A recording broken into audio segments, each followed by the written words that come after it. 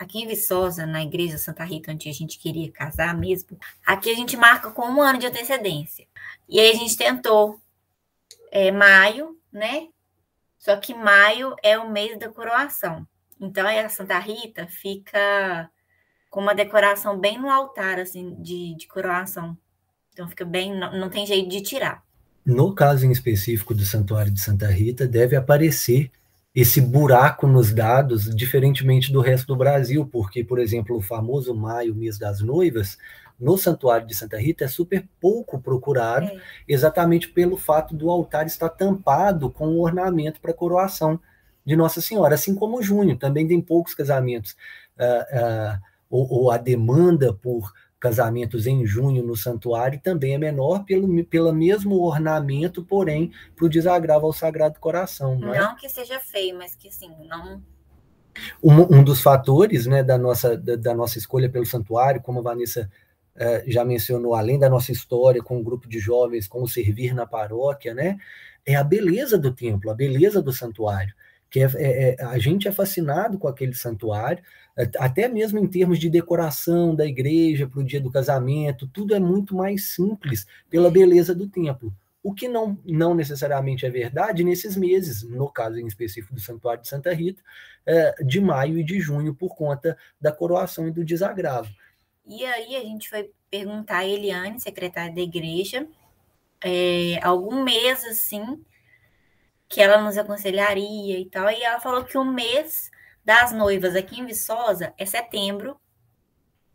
Acho que é por conta dos feriados também, que tem 7 de setembro, tem acho que aniversário Na cidade. cidade. né? A cidade também teve mais feriados em setembro. Eu, aí uh, o pessoal aqui até comenta assim: uh, setembro é o novo maio, né? É. Setembro é o novo maio, gente, no caso de Santuário. Quando a gente vai marcar, a gente escuta isso.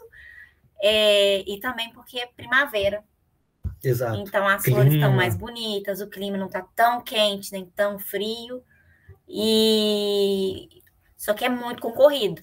Aí o engraçado é que para a gente é, é um, foi um pouquinho assim, da lógica inversa dos demais casais, creio eu, porque se setembro é o mês mais demandado, mais concorrido, foi o primeiro que a gente cortou da nossa lista. Então a gente, ah, se, se tem essa disputa toda, pronto, a gente não quer entrar nessa disputa, entende? Então para a gente já já estava fora e a gente começou a, sem perceber, se encaminhar para o extremo oposto. Então, qual será que é o menos disputado? É. Qual será que é e o menos também querido? aquilo que eu falei das o calendário do, dos Santos. Santos.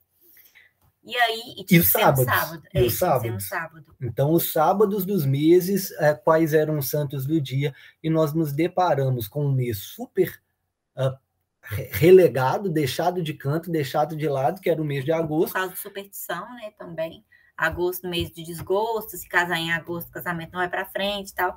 Como a gente não acredita nisso, que a gente é católico, Aí falando, vamos para Foi mais um fator para a gente ir para cima de agosto, falando assim, já que tem essa superstição, já que pouca gente procura até por isso e tal, mais um ponto positivo para a gente se casar em agosto, ser muito feliz, é, é. ter um casamento super frutuoso e mostrar a bobeira da superstição é.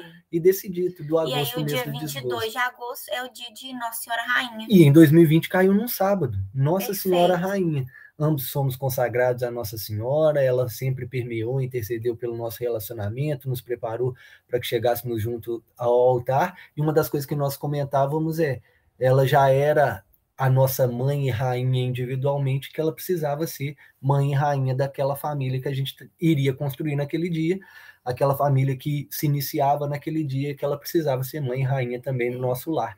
Então se encaixou assim perfeitamente o dia 22 de agosto de 2020. Um outro fator positivo que surpreendentemente nós encontramos em agosto foi a facilidade da agenda dos ditos fornecedores, né? Fotógrafo, decorador da igreja. Mais fornecedores da igreja, porque a gente não teve festa. Isso. Também seria para festa, né? Seria o caso de espaço local para festa, de é. buffet Mas e tudo mais. Caso, no nosso caso, é, a gente já pretendia, é, esse é um caso interessante, até para que a gente entre uh, no ponto da pandemia, como que ela encontrou essa nossa cerimônia.